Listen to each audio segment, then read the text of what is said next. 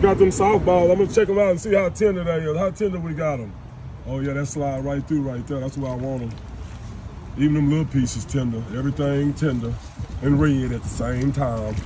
Y'all know how we doing at ATL. We got them ready. Rice bowls. Plenty of them. Number softballs. We got that. We got we got a load right there. We got another load over here. So Yeah. we got plenty of them braised. And they look outstanding.